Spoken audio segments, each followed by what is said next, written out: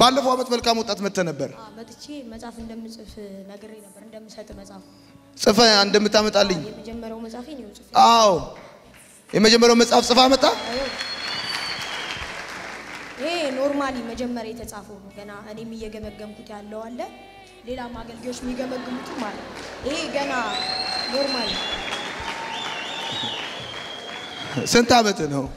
15 ያስኩኝ ግንቦት አስራ አምስተኛ ዓመትን አሁን ግንቦት ሀያ ይዛል። ግንቦት ሀያ ነው የተወለድከው አዎ ኢህአዴግ ሲገባ። እሺ ግንቦት ሀያ ነው የተወለድከው። 15 ዓመት ይዛል። የመጀመሪያ መጽሐፍ ባለፈው ዓመት 14 ዓመት እያለ ነው የመጣው። ያለው መጥቼ ነገርኩ። መጽሐፍ ምን ነበር ያቀረብከው ባለፈው ዓመት? መጽሐፌን እንደምሰጥ ነበር ወጥቼ እዚህ ጋር እዚህ ጋር ወጥቼ መጽሐፍ እሰጥሃለሁ መጽሐፍ እየጻፍኩ ምናምን ማን ነው ስምህ? ቸርነት እባላለሁ። ስንት ዓመት ነው? አስራ አራት ዓመቴ ስንተኛ ክፍል ነህ? ወደ ሰባት እሺ ለምንድን ነው እዚህ ጋር የመጣህ አሁን? እዚህ ጋ የመጣሁት እኔ ከዚህ በፊት ብዙ መጽሐፍቶችን ክሬት አድርጌያለሁ። ርዕሶች ፈጥሬ መጽሐፍቶችን እየጻፍኩ ነው። አንዱ ገጽ 82 ላይ ደረስኩበት ከዛሬ ሁለት ዓመት በፊት የጀመርኩ መጽሐፍ አለ። አዳሜ ቴሌግራም ላይ ድዷን ታሰጣለች፣ አንተ መጽሐፍ ትጽፋለህ።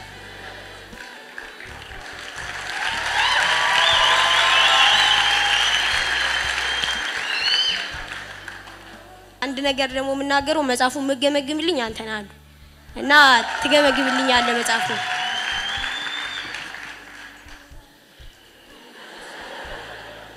በቃ ዝም ብለህ ማዕከሉን እኮ እኛ አሁን ማን እንደሚያስቀጥለው እያየን ነው። በቃ?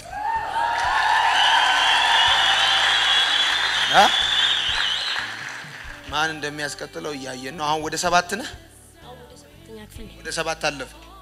አዎ አልፍ ያለው ወደ ሰባተኛ ክፍል። እኔ የምለው ምን መሰላችሁ አብዛኛው ጊዜ እድሜ አይተን እንላለን እና በጣም መልካም ወጣት ልመዘግብ ስል ራሱ እድሜ እንትን እንዳይከለክሉኝ ምናምን እያልኩ እየፈራው ነው የተመዘገብኩት። እየፈራው ይመልሰኝ ይሆን ምናምን እያልኩ ነው የተመዘገብኩት እና እዚህ መጥቼ ደግሞ በጣም ተካፍያለሁ። በተለይ ደግሞ አንተ ስለ አናሲሞስ ስትናገር አንድ ጊዜ በቲቪ ያልከውን በጣም አሁን ደግሞ በአካል ተገኝቼ ስካፈል impart አድርጌያለሁ። አሁን ቀጥታ ከአንተ ተካፍያለሁ እና ለመጀመሪያ ጊዜ አንተ ያለህበት አገልግሎት የተካፈልኩት እዚህ ሊሆነ አየር ጤና መሰረተ ክርስቶስ ቤተክርስቲያን መጥተህ ነበር እና ለዮርዳም ትንቢት አምጥተህላት ነበር ዮርዳ ለምትባል ልጅ እና የዛን ጊዜ እኔ መድረክ ላይ ቁጭ ብዬ ይሰማ ነበረ መድረክ ላይ ተቀምጬ ማለት እና የሚገርም ነበር የዛን ዛኔ የተናገርከው እንደውም ስለ ጴጥሮስና ስለ ኢየሱስ ስትናገር ኢየሱስ በዛ በዮሐንስ ምዕራፍ አምስት ላይ እዛ መንገድ ላይ ስለተቀመጠው ሰውዬ ያ ሰውዬ በእርግጥ የዛን ጊዜ ምንም ፈውሶት ነበር። ግን እዛ ሐዋርያ ስራ ላይ ምዕራፍ ሶስት ላይ ስንሄድ ግን ከዛ ሰውዬ የዚህ ሰውዬ እንትን የሚርቀው አምስት ኪሎ ሜትር ነው። እዚያ ቦታ ደግሞ ኢየሱስ ተደጋጋሚ ተመላልሷል። ግን ሐዋርያት ነው እነሱን ሂዶ የፈወሱት ብለህ ሳስተምር ነበር። እሺ እንደውም ደክሞ ከዱባይ አዎ አዎ እና በጣም የሚገርም ነገር ተካፍያለሁ። አሁን ራሱ መጥቼ በጣም ብዙ ነገር ነው የተካፈልኩ። ስለ ህልም ስታወራ ያው ወጣት የምንለው የወደቀውን የጣለውን ሰውዬ የማይለማመጥ አንሳኝ ብሎ የማይለማመጥ ነገር ግን እግዚአብሔር ረድቶት የሚነሳ በራሱ ሳይሆን በእግዚአብሔር እንትን የሚሄድ እና ብዙ ስለዚህ ስታወራ በጣም ደስ እያለኝ ነው። ሁሉም ትምህርቶች ተካፍያለሁ። ሁሉም ትምህርቶች በእኔ ህይወት ታይቷል። ሁሉም ትምህርቶች ማለት በእኔ ህይወት ስላየሁት ማለት ድብርት ብዙ ጊዜ አጋጥሞኝ ስለሚያውቅ አንድ በላይፍ የቀነስኩበት ጊዜ ለምሳሌ በቃ ለማንበብ ለመጸለይ ብሞክር አይሆንልኝም፣ ግን ድብርት ውስጥ እገባለሁ። ሲደብረኝ ደግሞ የምሰራው በቃ መጥፎ ነገር ነው። በቃ መፈታተን በቃ ያልሆነ ያልሆነ ነገር ነው የምሰራው እና ብዙ ነገር ብቻ ግን ተምሬያለሁ። ጌታ ይባርክ። ሰባት መቶ ሀምሳውን የመጣው አዎ እ? አዎ እሷ ትከፍልላለች። ከፈለችልህ እሷ። እሺ እሺ። ታውቂዋለሽ? እሺ። እ። እናትህ ምንድን ነው የምትሰራው? እናቴ ያው ቤት ነው የምትቀመጠው። ያው ስራ ትሰራ ነበር ሸማቾች፣ ግን ከዛ በኋላ ያው ስራ አቁማ ቤት ነው የምትቀመጠው። brother ልጅ ስለተወለደ ቤት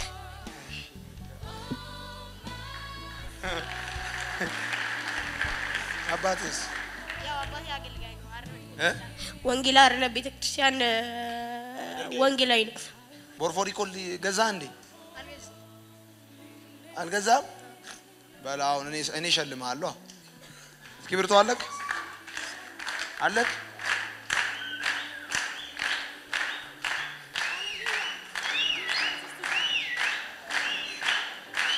የጨረስኩት መጋቢት ምናምን አካባቢ ነው የኖርማል የመጀመሪያውን እሺ ለመደዋወል ምናምን ሞክሬ ነበር። ያው አልቻልኩም። በቃ አሁን አመጣው።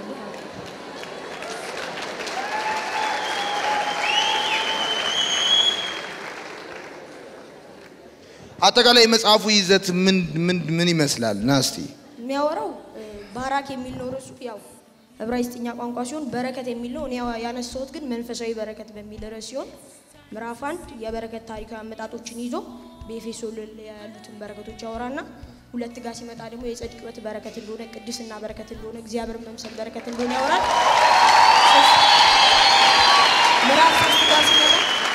ምዕራፍ ሶስት ጋር ሲመጣ የበረከታችን መያዣ የርስታችን መያዣ መንፈስ ቅዱስ ነው በማለት ምዕራፍ ሶስትን ያስቀምጣል። ስንት ዓመት ነው?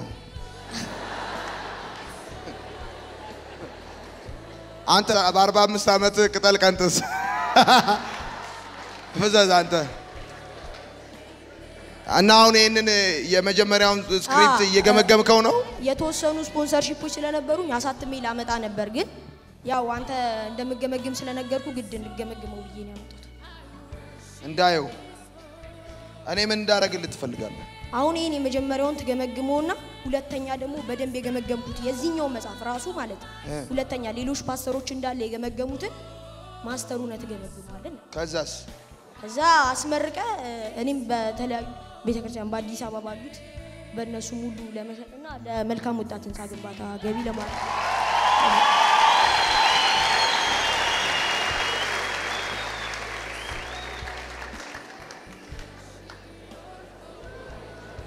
ስንተኛ ክፍል ነህ?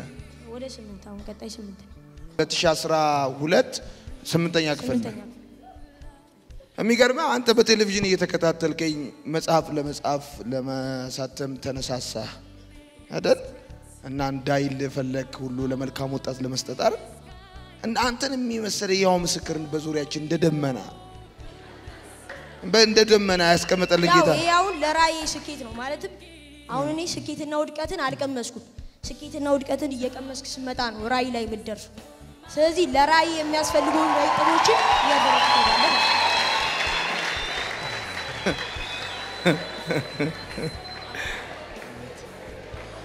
ስለ ባለ ራእይነት ስትወራ በጣም ነው ደስ ያለኝ፣ ምክንያቱም በብዛት በጣም የሚያስፈልገን ትምህርት ስለሆነ ማለት ነው። እስቲ ምንድን ነው understand ያደረከው እዛ በጣም የወደድከው ሀሳብ አንድ አሁን አንተ ስትናገር በጣም ያስደሰተኝ ነገር ኢዩኤል ላይ የተናገርኩ ሀሳብ ጎበዞች ራእይን ይቀበላሉ። ጎበዞች ራእይን የሚቀበሉት ለራእይ ለመቀበል ready በመሆናቸው ነው፣ ስለተዘጋጁ ህፃናት ደግሞ ትንቢትን የሚናገሩት በጣም መለፍለፍ፣ ማውራት የመሳሰሉ ነገሮች ስለሚመቻቸው ትንቢት ይናገራሉ። ሽማግሌ ሲሆኑ ግን ይደክማሉ፣ መተኛት ነው የሚቀላቸው። ከዛ ሲተኙ ህልምን ያልማሉ ማለት ነው። እሺ ልንገር ስለ ይቅርታ ሳስተምር ደስ አለ በጣም ነው ደስ ያለኝ። በተለይ ብዙ ልጆች ሲናገሩ በጣም ነው ደስ ያለኝ። ይቅርታ በጣም ያስፈልጋል። በጣም ነው የሚያስፈልገኝ። ይቅርታ ይቅርታ በጣም ነው የሚያስፈልገኝ። ይቅርታ በጣም ትልቅ አንተ ነገር በ14 ዓመት መጽሐፍ መጽሐፍ ጀመርክ።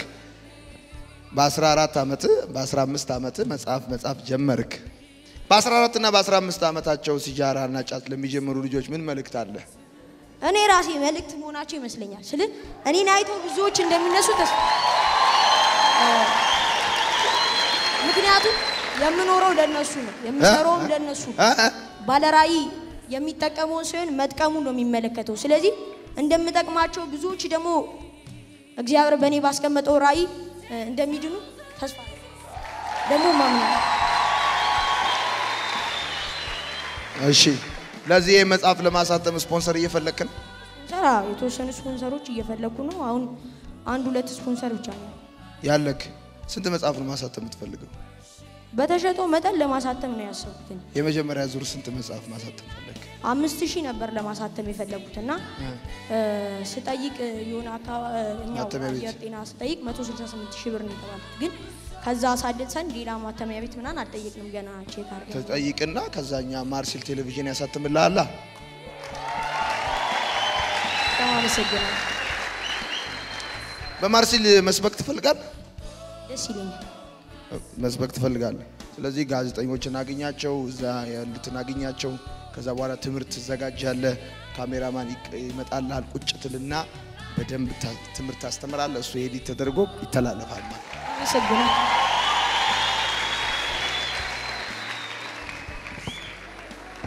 መልካም ወጣት ከዓላማ ለዓላማ በዓላማ የመተካካት ጉዞ ነው አይደለ? አዎ። አንተ እያለ እኔ ከዘራ እያዝኩ እዚህ የምንቀጠቀጥበት ምንም የሚረከባል አሁን እየተረካከብን እንሄዳለን። ያንን ተስፋ አረጋለሁ። ተረካክበን ተረካክበን በለው በለው መሪዎች በባህሪያቸው መሪዎች? ራሳቸውን አይፈጥሩም። ስራ አስኪያጆች ግን ራሳቸውን ይፈጥራሉ። አንተ ብዙዎችን ማንነታቸውን እንዲያውቁ ነው ያደረግካቸው። አንተን አንተን እንዲሆኑ አላደረግካቸውም። መሪ በባህሪው ራሱን አይደለም እዛ ጋር ወስዶ የሚከተው ራሳቸውን ነው የሚፈጥራቸው። እንዲነሱ ውስጣቸው ያለውን ነገር እንዲገለጠ ያደርጋል። አንተ ደግሞ ያ ባህሪ አለ ስል አሁን ለምሳሌ አንተ ስትናገር ብዙዎች ያላቸውን አቅም እንዲወጡ ትነግራቸዋል። ማን ራሳቸውን እንዲሆኑ ማለት ነው። ራሳቸውን እንዲሆኑ መሪዎች ደግሞ በባህሪያቸው ሌሎችን ራሳቸውን እንዲሆኑ ነው የሚያደርጉት። ስራ አስኪያጆች ግን ራሳቸው ስራ አስኪያጆቹ ነው እንዲሆኑ የሚፈልጉት። እንዲመሳሰሉ ከነሱ እንዲመሳሰሉ ራሳቸውን ነው የሚፈጥሩት የሚያበዙት። አንተ ግን ብዙዎችን በራሳቸው መልክ እንዲፈጥሩ በጣም ሲሰራ የነበርከው እና በጣም ወድሃለሁ። በጣም በአንተ አገልግሎት ተደስቻለሁ ተደስታል። በእኔ አገልግሎት ተደስታል። ተደስቻለሁ። ስለዚህ መልካም ወጣት እኔ የሚረከበኝ ሰው ስላለ ምንም እንትን የለውም ማለት ነው። ብዙ አለ ብዙ አለ ገና የሚመጣ ብዙ አለ። ብዙ እንጠብቅ። አመሰግናለሁ።